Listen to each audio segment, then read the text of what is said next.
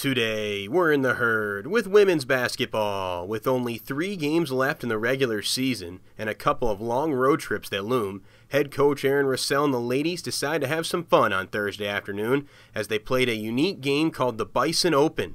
It involved nine different shooting stations and was kept score like a round of golf. This was a fun contest that kept the student athletes loose, and it's something Coach Roussell used back at his Division III coaching days. To be honest with you, stole it from uh, uh, origins, I guess, from uh, old place I, I, worked at. They, you know, they, they, have a lot of fun back there, and saw a little bit on uh, social media what they were doing, and, and, kind of tried to make it our own. But I uh, have to throw it back to the University of Chicago and, and Shelby Romine crew for this. The nine stations were as follows: Granny Smith style three pointers, free throw attempts with your eyes closed, left handed jump shots from the elbow, corner threes with a tough out of bounds angle, behind the backboard shots, hook shots, bank three pointers, layups from your knees, and half court shots.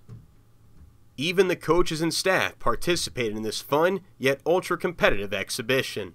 You know, I think for us, to be honest with you, it just had everything to do with, with, with our schedule. You know, obviously a three game week. You know, we've been traveling, have a big road trip coming up. Um, in just the middle of February, end of February is not the time that you're going to get a whole lot out of your kids if they're not fresh. And I've said for a long time, the freshest team is going to have the advantage at the end of the season. And you know, I don't know if we're that, but but we need to make sure that we're not pounding our kids um, at this time of year. The winners of the extravaganza were two freshmen guard Jackie Klotz, and student manager Danielle Bear.